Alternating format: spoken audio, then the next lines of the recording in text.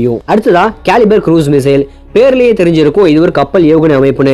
இந்த ஏவுகணை நிலத்துல இருக்க இலக்கையும் தாக்கும் வகையில உருவாக்கி இருக்கிறாங்க கடற்படை கப்பல்களை குறிவைச்சு தாக்குறதுலயும் இந்த கேலிபர் க்ரூஸ் மிசைல் எக்ஸ்பர்ட்னு சொல்லலாம். அது மட்டும் இல்ல மக்களே இந்த மிசைல் நீர்மூழ்கி கப்பலையும் குறிவைச்சு அழுக்கிற அளவுக்கு ரஷ்யா உருவாக்கி இருக்கிறாங்க இந்த கேலிபர் க்ரூஸ் மிசைலை பொறுத்த வரைக்கும் கப்பல் நீர்மூழ்கி கப்பல் விமானம்னு சொல்லி பல்வேறு தளங்களில் இருந்து ஏவ முடியும்.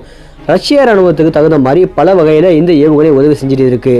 ரஷ்ய ராணுவத்தோட செல்ல பிள்ளைன்னு கூட இந்த கேலிபர் மிசைலை சொல்லலாம். ரஷ்யாவோட இன்டர்வென்ஷன் சிரியாவில் இருக்கும்போது ஏற்பட்ட போர் நேரங்களில் கூட ரஷ்யா இந்த கேலிபர் குரூஸ் மிசைலை பயன்படுத்தி இருக்கிறாங்க அது உலகத்தில் இருக்கக்கூடிய பல நாட்டுடைய கவனத்தையும் ஈர்த்திருக்குது. இந்த மிசைல் சிஸ்டம் மிசைல் டெக்னாலஜில ரஷ்யாவை அடுத்த கட்டத்துக்கு எடுத்துட்டு போயிட்டு தான் சொல்லணும்.